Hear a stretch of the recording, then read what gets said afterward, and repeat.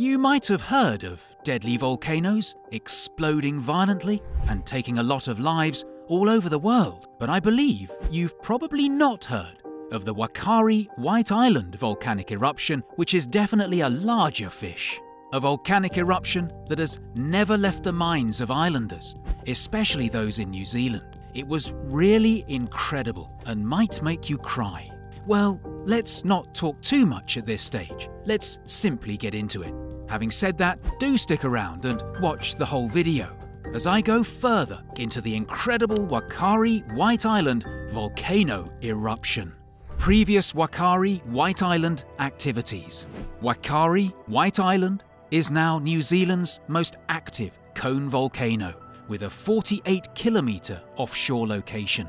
Over the last 150,000 years, constant volcanic activity has gradually built up the cone. Only around 30% of the volcano's mass, the other 70% is beneath the sea, is located on the island, which has a surface area of roughly 325 hectares. However, compared to other cone volcanoes, like Mount Ruapehu, Tongariro, or Taranaki, it is only approximately half as big. In 1769, Captain James Cook gave the island the name White Island, Te Puia o Whakaari, meaning the dramatic volcano, is its full name in Maori. Whakaari White Island became the official name in the NZ Gazette in 1997. White Island, or Whakaari, is privately owned. It was designated a private scenic reserve in 1953 and has been the subject of geological and ecological research, as well as tourism. Previous eruptions. Perhaps you are unaware that there have been past catastrophic eruptions before the most recent one in 2019 happened. Well, let's discuss it now. This volcano has recently erupted several times, notably numerous times in the 1980s. In 2000, a significant eruption created a brand new crater, and in 2012, 2013, and 2016, there were minor eruptions. 2016, a brief explosive eruption took place on the evening of April 27. The main crater floor and portions of the crater walls were covered with debris from the blast's surges. During the eruption, the 1978 to 1990 crater complex's bottom was 13 meters deeper, and a fresh lake was created in 2018. Volcanic ash was briefly passively released from a vent on the 2012 lava dome in September 2016. 2012 to 2013. On August 5, 2012, there was an explosive eruption followed by an ash emission period. The crater lake then heated up, and from October to December 2012, a tiny lava dome was extruded. From February through April 2013, there were bursts of steam and sulfur that destroyed the lake. The lake had returned by June. A second explosive eruption occurred on August 20, and again on October 4, 8, and 11. An enormous landslide entered the lake in November 2015. 1975 to 2000. The longest and greatest eruption event in recorded history took place on White Island from December 1975 to September 2000. This eruption outburst produced a large number of explosions and collapsed craters. Active vents in these craters have been emitting volcanic ash for a long time. The main crater floor sometimes experienced surges and ballistic bombs blocks from explosive eruptions. Late in July 2000, the final significant eruption of this phase blackened the crater floor area in scoria, displaced a crater lake, and created a new explosion crater 150 meters wide.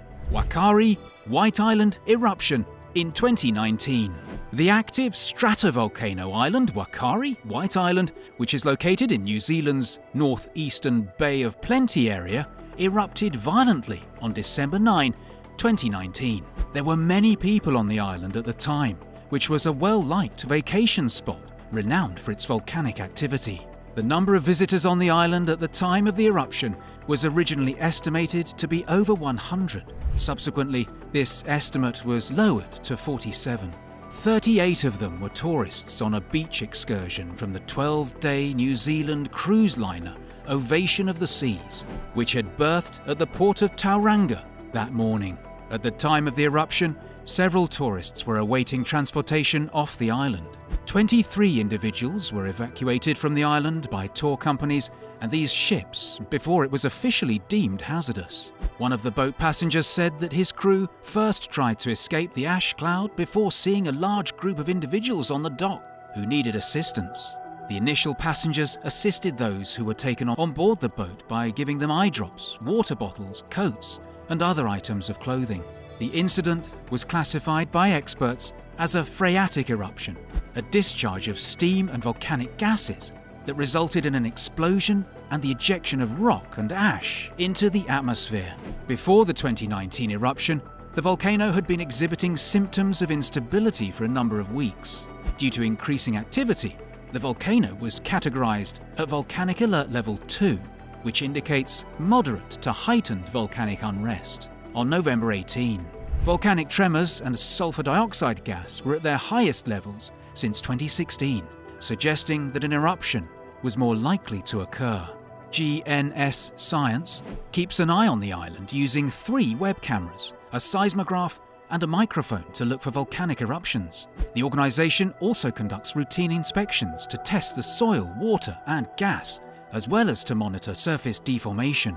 Regular visitors came to the island, mostly on White Island tours. Before the eruption, the organisation published a statement on their website that read Alert Level 2 is now in effect for Whakaari White Island. This rating denotes the possibility of eruption risks and signifies moderate to heightened volcanic disturbance. No matter the warning level, there is always a chance of eruptive activity. Therefore, visitors should be aware of this while travelling with White Island tours. The different levels of our operations on the island are determined by a thorough safety strategy that White Island tours follows. Casualties. On December 9, at 1835, the media was informed that there was one verified death, while many more were presumably dead since several were missing and many more were hurt, seven of them gravely. Authorities said that since the island is blanketed in volcanic ash and stuff, it is still too risky for the emergency services to enter and rescue people. On the island, at the time of the eruption, were 47 persons, of whom five were killed. 34 were wounded or evacuated, and eight were reported missing and assumed dead, according to the authorities' statements later that day. Eight deaths have now been officially verified, with three more passing away in hospitals over the following days.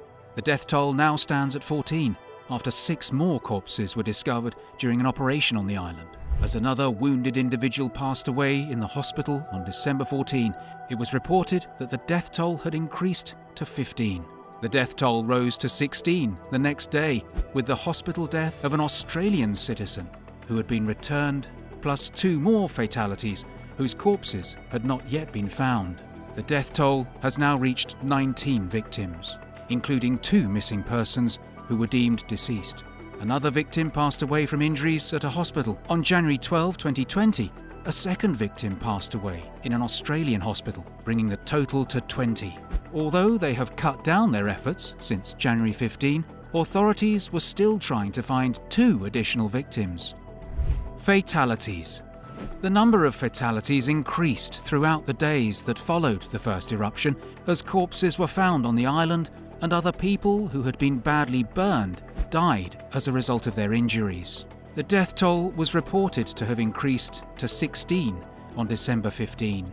There were 13 Australian tourists, three Americans, and two New Zealand men who worked as guides for White Island tours, not to include the two individuals who went missing and were ultimately determined to have perished. On December 22, a second victim, a lady from the United States, died from her wounds. As a result, there are now 19 verified deaths, including four Americans. The death toll rose to 21 in January 2020 when two more victims, one each from Australia and the United States, succumbed to their wounds, and the two unaccounted for individuals were formally ruled dead. On July 2, 2020, a German man passed away, raising the death toll to 22.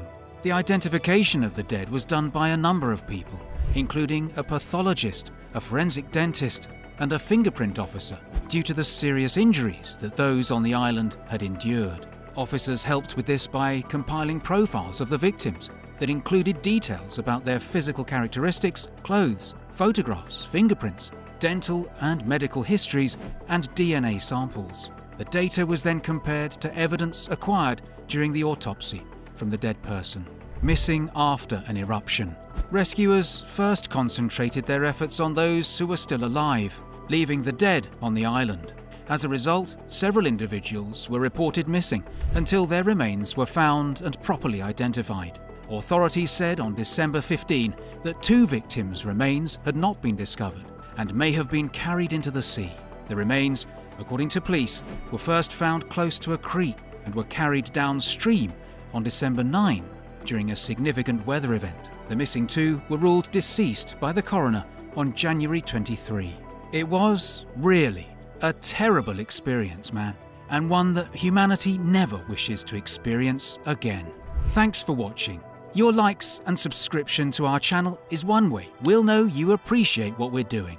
Please keep it coming. We'd also like to know about your thoughts and feelings over this dreadful volcanic experience. Feel free to drop your comments below in the box provided.